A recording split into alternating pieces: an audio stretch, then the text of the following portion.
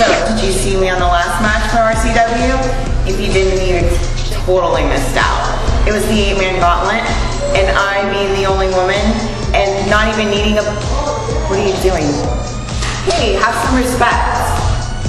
Being that I didn't need a belt, I conquered, had everybody in the palm of my hand, and I did it hard, hard freaking work, not just some TNA.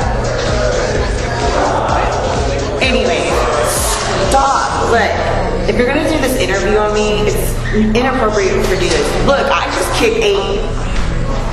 I just kicked seven guys' asses. And I only am about to kick yours to make it eight.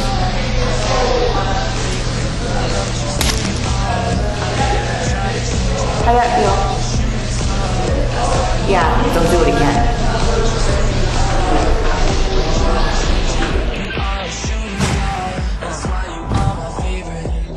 She fell from heaven. One to ten, baby girls an eleven. And I ain't trying to spit no game, but I'm trying to figure out from where you came. Because a style like hers.